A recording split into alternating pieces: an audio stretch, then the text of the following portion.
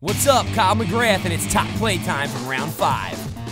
Mike Schaefer's making his first ever appearance on the top 10, intercepting this pass from Farino and converting from the flex in transition.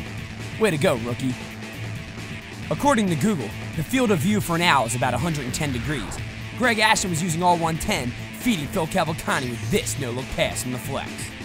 Scott Kennedy's at number 8 blocking shots as usual. Planking was a pretty cool fad. We'll call this nimble jacking. Matt Sola has been hearing a lot of Rookie of the Year chatter as of late and continues to back it up. He's here at number 7 connecting on a chrono from the second ring. Nick DeLuca and the rest of his goal zone crew hit some turbulence this round, so he had to improvise with some follow-up footwork. That was definitely cooler than a dunk. In my opinion, Kevin Glover may be the front runner for the league MVP. With the Legends down big in the third, KG connected on three ring shots from the flex to spark the comeback. Apparently, he doesn't miss from that side of the flex. Vince Rhoda has no regard for his body here as he lays out full extension to save this four point shot. Respect.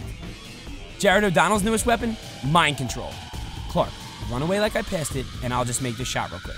Uh, thanks. A top 10 first, Crow Nation.